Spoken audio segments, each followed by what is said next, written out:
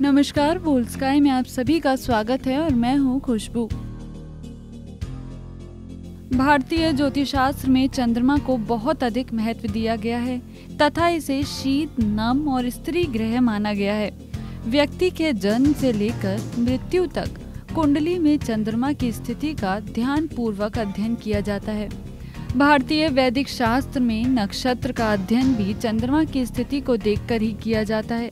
उदाहरण के लिए, जन्म के समय चंद्रमा जिस नक्षत्र में हो, उसी आधार पर जन्म नक्षत्र का अध्ययन कर नाम रखा जाता है।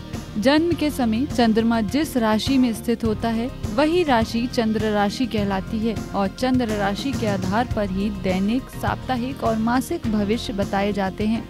भारतीय परंपरा में विवाह से पहले वर वधु की कुंडली का मिलन किया जाता है। ये मिलन भी कुंडली में चंद्रमा की स्थिति को देखकर ही किया जाता है। ज्योतिष अनुसार चंद्रमा मन का सीधा कारक होता है और विवाह दो मनों का पारंपरिक मेल है। कुंडली में चंद्रमा की स्थिति कुंडली धारक के लिए अति महत्वपूर्ण होती है। प्रचलित मूल दोष भी कुंडली में चंद्रमा की स्थिति से ही देखे जाते हैं। ज्योतिष अनुसार कुंडली में चंद्रमा की स्थिति मन और भावनाओं को नियंत्रित रखती है। और साथ ही चंद्रमा के कुंडली में बलशाली होने पर धारक स्वभाव से मृदु, संवेदनशील, भावुक तथा अपने आसपास के लोगों से स्नेह रखने वाला होता है।